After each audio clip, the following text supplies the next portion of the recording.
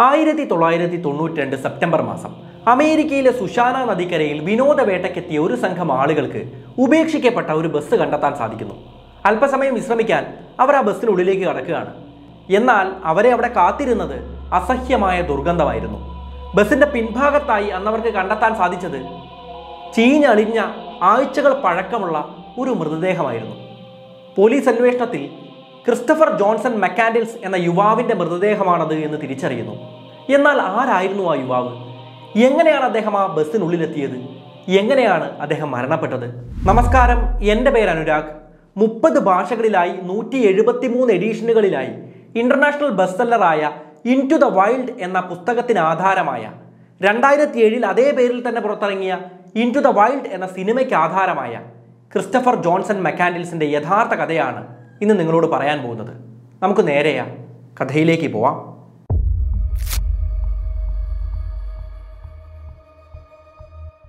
ആയിരത്തി തൊള്ളായിരത്തി അറുപത്തി എട്ട് ഫെബ്രുവരി മാസം പന്ത്രണ്ടാം തീയതി അമേരിക്കയിലെ കാലിഫോർണിയയിൽ ബില്ലി മെക്കാൻഡിൽസിന്റെയും വാൾട്ട് മെക്കാൻഡിൽസിന്റെയും മകനായിട്ടാണ് ക്രിസ്റ്റഫർ ജോൺസൺ മെക്കാൻഡിൽസ് ജനിക്കുന്നത്.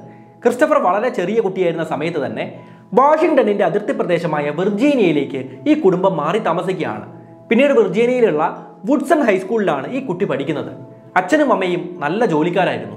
അച്ഛൻ നാസയ്ക്ക് വേണ്ടി പോലും വർക്ക് ചെയ്ത എയറോസ്പേസ് എഞ്ചിനീയർ ആയിരുന്നു. അമ്മ ഹ്യൂക്സ് എയർക്രാഫ്റ്റിലെ സെക്രട്ടറി ആയിട്ടും ജോലി ചെയ്യുന്നുണ്ട്. എന്താണെങ്കിലും അച്ഛനും അമ്മയും നല്ല പണം ഉണ്ടാക്കുന്നുണ്ട് സാമ്പത്തികപരമായി നല്ല ഭദ്രമായ ഒരു കുടുംബത്തിലാണ് ഈ കുട്ടി വളർന്നു വരുന്നത്. ആയിരത്തി തൊള്ളായിരത്തി എൺപത്തി ആറിൽ ക്രിസ്റ്റഫർ ജോൺസൺ മെക്കാനിൽസ് സൗത്ത് കാലിഫോർണിയയിലേക്ക് ഒന്ന് പോവാണ്. താൻ വളർന്നത് അല്ലെങ്കിൽ ജനിച്ചതെല്ലാം സൗത്ത് കാലിഫോർണിയയിലായിരുന്നു. അതുകൊണ്ട് തന്നെ തന്റെ ബന്ധുക്കളും സുഹൃത്തുക്കളും എല്ലാം അധികമായിട്ടുള്ളത് ഈ മേഖലയിലായിരുന്നു. ഇങ്ങനെ പോയപ്പോൾ ഈ കുട്ടി ഞെട്ടിക്കുന്ന ഒരു സത്യം തിരിച്ചറിയാണ്. തന്റെ അച്ഛൻ തന്റെ അമ്മയെ കല്യാണം കഴിക്കുന്നത് രണ്ടാമത്തെ ഭാര്യയായിട്ടാണ്. എന്നാൽ ആദ്യ ഭാര്യയുമായുള്ള ബന്ധം അച്ഛൻ ഇപ്പോഴും തുടരുന്നുണ്ട്. തന്റെ ജനനത്തിന് ശേഷവും തന്റെ അമ്മയെ വിവാഹം കഴിച്ചതിന് ശേഷവും ഈ അച്ഛൻ ഒന്നാം ഭാര്യയുമായുള്ള ബന്ധം തുടരുന്നു എന്ന് മാത്രമല്ല ആ ബന്ധത്തിൽ അദ്ദേഹത്തിന് വീണ്ടും കുട്ടികൾ ജനിക്കുന്നുണ്ട്. ഈ കാര്യം ക്രിസ്റ്റഫർ മെക്കാൻഡിൽസിനെ വല്ലാതെ വേദനിപ്പിക്കുന്നുണ്ട് വല്ലാതെ തകർത്ത് കളയുന്നുണ്ട്. എന്താണെങ്കിലും തനിക്ക് വീണ്ടും പഠിക്കണം എന്ന ആഗ്രഹത്തോടെ വീണ്ടും നാട്ടിലേക്ക് തന്നെ തിരിച്ചു വരികയാണ്. പിന്നീട് ഡിഗ്രിക്ക് പഠിക്കാൻ ജോർജിയയിലെ എമോർ യൂണിവേഴ്സിറ്റിയിൽ ഹിസ്റ്ററിക്കും ആന്ത്രോപോളജിക്കും അതായത് ചരിത്രത്തിനും നരവംശ ശാസ്ത്രത്തിനും ഇദ്ദേഹം ജോയിൻ ചെയ്യാണ്. പഠിക്കുന്ന കാലയളവിലെല്ലാം ഇദ്ദേഹം നന്നായിട്ട് പഠിക്കുകയാണ്. നല്ല ഉയർന്ന മാർക്കോടെയാണ് ഇദ്ദേഹം പാസ്സായി പുറത്തേക്ക് വരുന്നത്. ഈ പഠിക്കുന്ന സമയത്ത് ഇദ്ദേഹം സമ്പാദിക്കുന്ന പണമുണ്ട്. ഏകദേശം അൻപതിനായിരം യു എസ് ഡോളറോളം വരും. ഇന്ന് നമ്മൾ നോക്കുകയാണെങ്കിലും ഏകദേശം എത്ര കുറച്ചു കൂട്ടിയാലും മുപ്പത്തഞ്ച് മുതൽ നാൽപ്പത് ലക്ഷം വരെയുള്ള തുകയാണ്. ഡിഗ്രി കഴിഞ്ഞ് പുറത്തേക്ക് വരുന്ന ഒരു കുട്ടിയുടെ കയ്യിൽ ഇത്രത്തോളം പണമുണ്ട്. സാധാരണ രീതിയിൽ ആ പണം അടിച്ചു പൊളിക്കാനും അല്ലെങ്കിൽ ഭാവി സുരക്ഷിതമാക്കാനും വേണ്ടി ഉപയോഗിക്കേണ്ടതാണ്. എന്നാൽ ഇദ്ദേഹം ഓക്സ്ഫാം ഇന്റർനാഷണൽ എന്ന ചാരിറ്റി ഓർഗനൈസേഷന് ഈ പണം മുഴുവൻ ദാനം ചെയ്യുകയാണ് അതിനുശേഷം വാണ്ടർലസ്റ്റ് ലൈഫ് സ്റ്റൈൽ എന്നെല്ലാം നമ്മൾ വിളിക്കുന്ന നാടോടി ജീവിതം എന്ന് മലയാളത്തിൽ പറയാവുന്ന ഒരു ജീവിതം സ്വീകരിക്കാൻ തീരുമാനിക്കുകയാണ്. സ്വതന്ത്രമായി എല്ലാം ഉപേക്ഷിച്ച് ഒരു യാത്ര പോവാൻ തയ്യാറെടുക്കുകയാണ്. ഇത് പറഞ്ഞതുകൊണ്ട് മറ്റൊരു കാര്യം പറയാം. ഒരു മനുഷ്യൻ സർവവും ഉപേക്ഷിച്ച് യാത്ര പുറപ്പെട്ടു എന്ന് പറയുമ്പോൾ എനിക്ക് ഓർമ്മ വരുന്നത് ലോക പ്രശസ്ത വക്കീൽ ജൂലിയൻ മാൻഡിൽ എന്ന സാങ്കല്പിക കഥാപാത്രത്തിന്റെ കഥ പറയുന്ന റോബിൻ ശർമ്മയുടെ the monk who sold his Ferrari എന്ന പുസ്തകമാണ്. ഈ അടുത്ത കാലത്ത് ഓഡിയോ ബുക്ക് ആയിട്ട് അത് കേട്ടത് കുക്കു എഫ് എമ്മിൽ നിന്നാണ്. വായിക്കാനൊന്നും സമയം കിട്ടാത്തതുകൊണ്ട് ഇപ്പോൾ ഓഡിയോ ബുക്സ് ആയിട്ടാണ് പലപ്പോഴും കാര്യങ്ങൾ കേൾക്കാറുള്ളത്. ഞാനിതിപ്പോൾ പറയാനുണ്ടായ കാരണം കുക്കു എഫ് എം നമ്മുടെ ഓഡിയൻസിന് വേണ്ടി അൻപത് ശതമാനം റിഡക്ഷനിൽ അവരുടെ സബ്സ്ക്രിപ്ഷൻ തരാമെന്ന് നേരിട്ട് നമ്മളോട് പറഞ്ഞിട്ടുണ്ട്. മലയാളം അടക്കമുള്ള ഭാഷകളിൽ ആയിരത്തിലധികം മണിക്കൂറുകൾ കേൾക്കാനുള്ള ചരിത്രവും ശാസ്ത്രവും അതുപോലെ നോവലുകളും എല്ലാം അടങ്ങിയ പുസ്തകങ്ങൾ നൂറ്റി തൊണ്ണൂറ്റൊൻപത് രൂപയ്ക്ക് കിട്ടുക എന്ന് പറഞ്ഞാൽ ലാഭമല്ലേ? അത് കിട്ടാൻ വേണ്ട ലിങ്ക് ഞാൻ ഡിസ്ക്രിപ്ഷൻ ബോക്സിൽ കൊടുക്കുന്നുണ്ട്. നിങ്ങൾ അപ്ലൈ ചെയ്യേണ്ട code A N talks fifty എന്നതാണ്. അപ്പോൾ പറ്റുന്നവരെല്ലാം ഒന്ന് ട്രൈ ചെയ്ത് നോക്കുക. എന്തായാലും ക്രിസ്റ്റഫർ ജോൺസൺ മെക്കാനിക്സിന്റെ ജീവിതത്തിലേക്ക് തന്നെ തിരിച്ചു വരികയാണെങ്കിൽ അദ്ദേഹം അദ്ദേഹത്തിന്റെ ക്രിസ്റ്റഫർ എന്ന പേര് പോലും ഉപേക്ഷിച്ചിട്ടാണ് ഈ യാത്ര തുടരുന്നത്. അദ്ദേഹം അദ്ദേഹത്തെ തന്നെ വിളിച്ചിരുന്ന പുതിയ പേര് അലക്സാണ്ടർ സൂപ്പർ ട്രാമ്പ് എന്നതായിരുന്നു. അതായത് പേരുപേക്ഷിക്കുന്നു പൂർവ ജീവിതവുമായിട്ടുള്ള സകല ബന്ധങ്ങളും ഉപേക്ഷിക്കുന്നു. അതിനുശേഷം ഒരു നാടോടിയായി. യാതൊരു ഉത്തരവാദിത്തങ്ങളും ഇല്ലാതെ വെറുതെ യാത്ര ചെയ്യുന്ന ഒരാളായി യാത്ര ചെയ്യണം എന്ന് ആഗ്രഹിച്ച് ഇദ്ദേഹം യാത്ര പുറപ്പെടുകയാണ്. എന്നാൽ ഇതിന് പണം വേണം. പണം എന്ന് പറയുന്ന ആദ്യം കയ്യിലുണ്ടായിരുന്ന പണം എല്ലാം ചാരിറ്റിക്ക് വേണ്ടി ഡൊണേറ്റ് ചെയ്ത് കഴിഞ്ഞിരിക്കുകയാണ്. ഇദ്ദേഹം ചെയ്യുന്നത് വഴിയിൽ കാണുന്ന റെസ്റ്റോറൻസുകളിൽ ആദ്യം ജോലിക്ക് നിൽക്കുന്നു. അതിനുശേഷം കുറച്ച് പണം കിട്ടും. ആ പണവുമായിട്ട് യാത്ര ചെയ്യും. പിന്നീട് മറ്റെവിടെയെങ്കിലും കാണുന്ന മറ്റെന്തെങ്കിലും ജോലികൾ ചെയ്യും. അതിനുശേഷം പണം ഉണ്ടാക്കും വീണ്ടും യാത്ര തുടരും. ഇങ്ങനെ തന്റെ യാത്ര ഇദ്ദേഹം നടത്തിക്കൊണ്ടേയിരിക്കുകയാണ്. ആയിരത്തി തൊള്ളായിരത്തി തൊണ്ണൂറ്റി ഒന്നായപ്പോൾ നിസാൻ ഡാറ്റ്സൺ മോഡൽ കാർ ഉപയോഗിച്ച് ഇദ്ദേഹം കാലിഫോർണിയയിലേക്ക് ഒരു യാത്ര പോകുന്നുണ്ട്. വളരെ പഴയ കാറാണ് കുറഞ്ഞ വിലയ്ക്ക് മേടിച്ചതാണ്. അതിന്റെ കണ്ടീഷനെല്ലാം വളരെ വളരെ മോശമാണ്.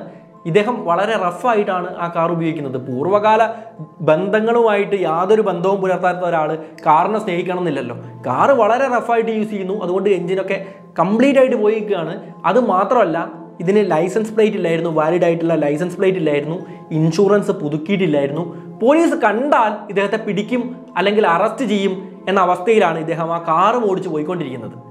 അങ്ങനെ ആ യാത്രയിൽ Lake Mead National Recreational Area എന്ന് പറയുന്ന സ്ഥലത്തെത്തുന്ന സമയത്ത് ഒരു ഫ്ലാഷ് ഫ്ലഡ് ഉണ്ടാവുന്നുണ്ട്. താഴ്ന്ന പ്രദേശങ്ങളിൽ വളരെ പെട്ടെന്ന് ഉണ്ടാവുന്ന വെള്ളപ്പൊക്കങ്ങളെ ഫ്ലാഷ് ഫ്ലഡ് എന്നാണ് വിളിക്കുക. അങ്ങനെ ഒരു വെള്ളപ്പൊക്കം ഉണ്ടാവുന്നുണ്ട്. സ്വാഭാവികമായിട്ടും വളരെ മോശം കണ്ടീഷനിലുള്ള എങ്ങനെയോ ഓടുന്നു എന്ന് തോന്നിപ്പിക്കുന്ന ആ കാറിലാണ് പോയിക്കൊണ്ടിരിക്കുന്നത്. ഇങ്ങനെ ഒരു വെള്ളപ്പൊക്കം ഉണ്ടായപ്പോൾ കാറിന്റെ ഉള്ളിലേക്ക് വെള്ളം കയറുകയാണ്. കാറ് വർക്ക് ചെയ്യിപ്പിക്കാൻ പറ്റാത്ത അവസ്ഥയിലെത്തുകയാണ്. കാറ് സ്റ്റാർട്ട് ആവുന്ന പോലുമില്ല. പക്ഷേ ഫയർ ആൻഡ് റെസ്ക്യൂ ടീമിനെ വിളിച്ച് ഇദ്ദേഹത്തിന് കാറ് പൊക്കിയെടുത്ത് അല്ലെങ്കിൽ പോലീസിനെ വിളിച്ച് സഹായത്തിന് അഭ്യർത്ഥിച്ച് ഈ കാറ് കൊണ്ടുപോയിട്ട് നന്നാക്കാൻ പറ്റും.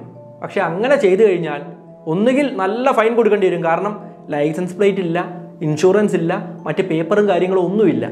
രണ്ടാമത്തെ കാര്യം ഒരു പക്ഷേ ഈ സാധനം ഒന്നും ഇല്ലാതെ ഇത്രയും കാലം ഓടിച്ചതുകൊണ്ട് ഇദ്ദേഹത്തിന് ജയിലിൽ കിടക്കേണ്ട അവസ്ഥയും വന്നേക്കാം. അതുകൊണ്ട് ആ കാർ ഉപേക്ഷിച്ച് കാറിന്റെ ഉള്ളിലുണ്ടായിരുന്ന തനിക്ക് ആവശ്യമുള്ള സാധനങ്ങളെല്ലാം ഒരു ബാഗിലെടുത്ത് ആ ബാഗ് വിട്ട് വീണ്ടും ഇദ്ദേഹം യാത്ര തുടരുകയാണ്. എന്നാൽ കാർ ഇല്ലാത്തത് കൊണ്ട് ഇദ്ദേഹത്തിന് വണ്ടി ഓടിച്ചു പോകാൻ പറ്റില്ല. അതുകൊണ്ട് ഹിച്ച് ഹൈക്കിംഗ് എന്നെല്ലാം നമ്മൾ വിളിക്കുന്ന നമ്മുടെ കേരളത്തിൽ നിന്നെല്ലാം പലരും നോർത്തിലേക്കെല്ലാം യാത്ര പോയിട്ടുണ്ട്. വണ്ടിക്ക് കൈ കാണിച്ച് പോവുക. ഹിച്ച് ഹൈക്കിംഗ് എന്നാണ് പറയുക.